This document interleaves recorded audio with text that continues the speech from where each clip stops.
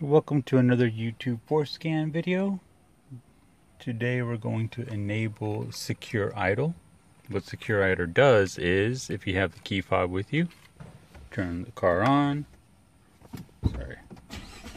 Let's turn the truck on. Alright. I can obviously change gears by holding the brake. Right? But if the key's not here, I'm gonna just chunk the keys over there. Right? Push the brake. Since the truck is already on, you can still move it. Right? You can still engage all the gears. So secure, uh, what secure idle does is while the truck is idling on, if the keys are not present, it's not going to let you let you change the gears.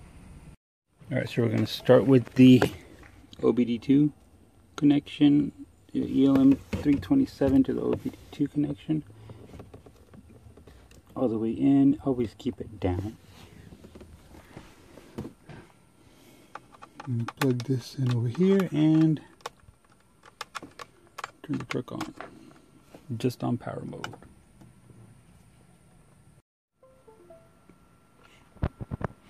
All right, we're plugged in. Now we're going to open FORScan.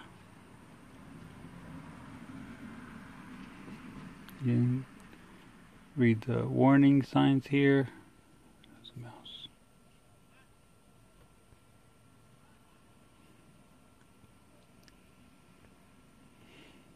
All right, and we're going to go down here to where it says connect. Read the warning signs, which is make sure the ignition is on it's set up on H and vehicle's not moving. So it found a truck, same profile as before, same exact truck I've been using. Do we have a high and medium? Yes, we do. We're going to flip the switch down here to medium and hit OK. So let everything load. Now it says ready on the bottom.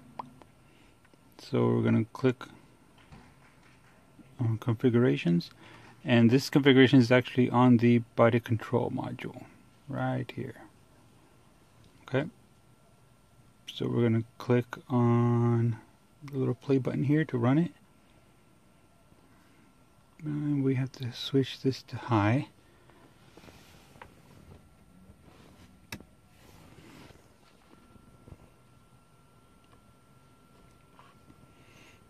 Read the warnings, let all the blocks load.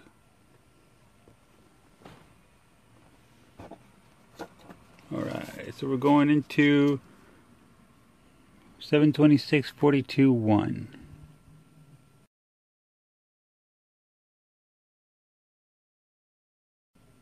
It's pretty far down. There it is, 726.42.1. Alright, double check to make sure we're clicking on the right one. 72642-01. Alright, so we're looking at these. Alright, so that second digit, a zero, is to unenable. We're going to switch that zero to a one. We'll enable it. We're going to click on right. Are you sure? Read the warnings. Everything flashed on and off. It says this was successful. We're going to click OK. Power off. Let, let the truck cycle off.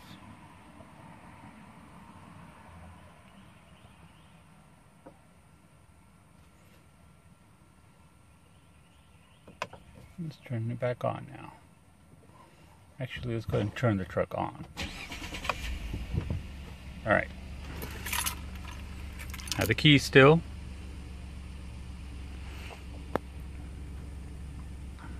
Let's see if it worked. I'm gonna throw these keys out the window.